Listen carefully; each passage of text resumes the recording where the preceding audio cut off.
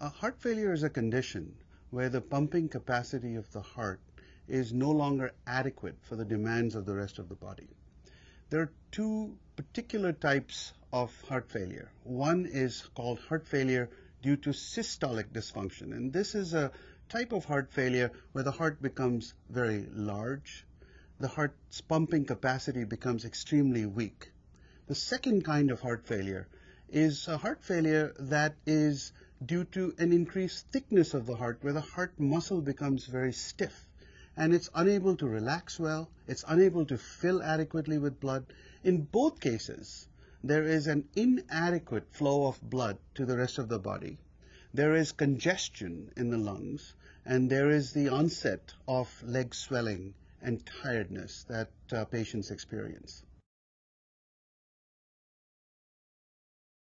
1980 was a defining year when uh, we began to look at heart failure very differently work done at the Brigham and Women's Hospital here in Boston uh, by Marc Pfeffer and his colleagues showed for the first time that a drug uh, called an ACE inhibitor could stop the disease, heart failure, right in its track.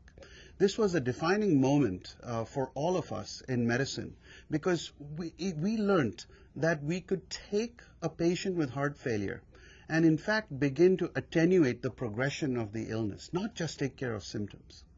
Later on, uh, we began to use uh, drugs like beta blockers, and these drugs showed us for the first time that you could partially improve the pumping capacity of the heart, not just delay the progression of heart failure, but actually improve it. And with that uh, ushered in an entirely new concept that we could change the natural history of heart failure.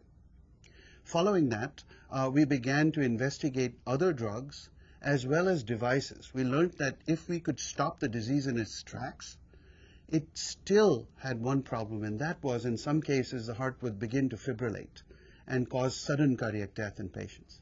And that ushered in an era where we began to place implantable cardiac defibrillators in patients to prevent sudden cardiac death. And all of these things changed the natural history of heart failure in such a positive manner that we were able to save lives.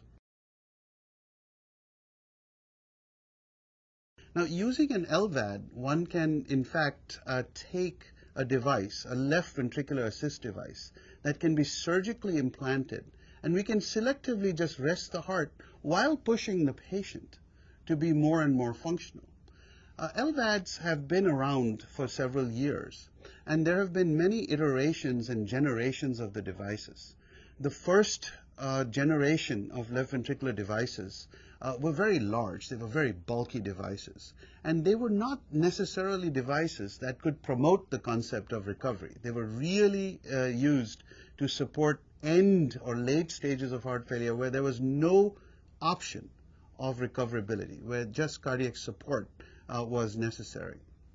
Today, the third generation devices have reached a point where they're so small and so uh, durable that we can implant them through minimally invasive surgical techniques in earlier and earlier stages of uh, the disease and uh, help facilitate heart recovery.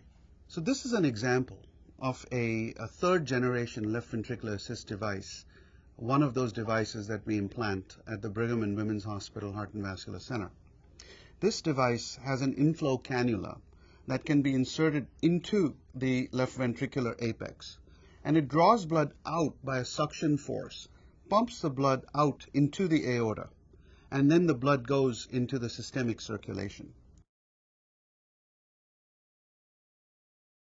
So we look at um, a patient with heart failure as having an opportunity for three specific things. And we refer to them as the three R's of repair, replacement, and now recovery.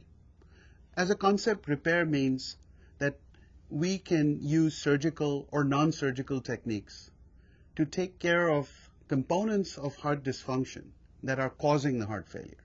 So as an example, if someone has severe valvular heart disease, we can correct the valvular heart disease. If someone has uh, blockages in the coronary arteries, we can revascularize them or we can combine these surgeries. And so our default is always to try and repair the heart first if we cannot repair the heart and the condition has reached an advanced stage, we then consider options of replacement. One can replace the heart function using a left ventricular assist device or a totally implantable total artificial heart.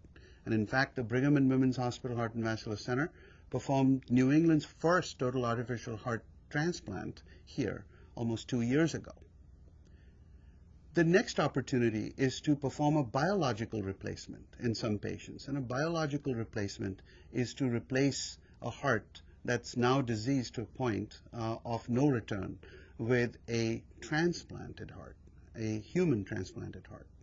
And we at the Brigham and Women's Hospital have New England's largest experience with heart transplantation.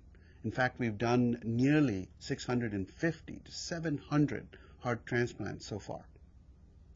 The third paradigm is to recover the heart function. And work that is being done at the Brigham and Women's Hospital here in our Heart and Vascular Center is now moving a step further in uh, tackling this very important concept of myocardial recovery. So that we have taken the extraordinary step of taking advanced heart failure and completely recovering that in selected cases. The future of uh, treating patients with heart failure is extremely bright.